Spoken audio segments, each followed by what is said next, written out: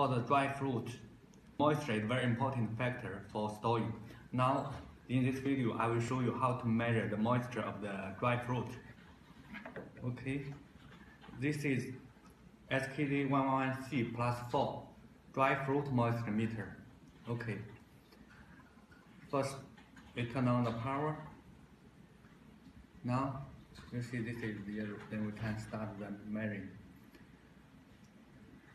put the two nail into the same bit. Okay, this is the moisture. Okay, it, it is finished. Operation is very simple.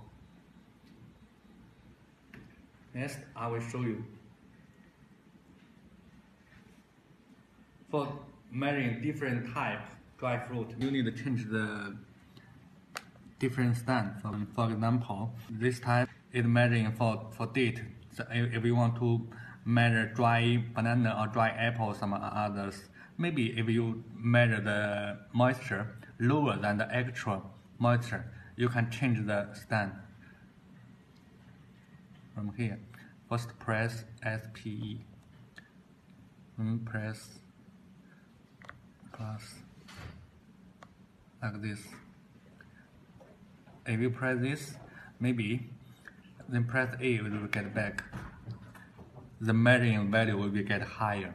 Then it will, will be close or the same with the actual moisture. Okay, let me see.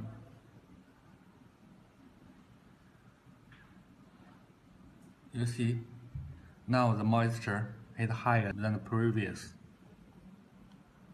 Okay.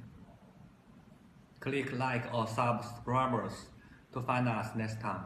In next video, I will show you other type moisture meter to measure other kind of materials. At last, I will give you one question. What kind of material SKZ11C plus 4 can test? If you leave, leave the message to us, if your answer is right, I will give you 5% discount for this meter.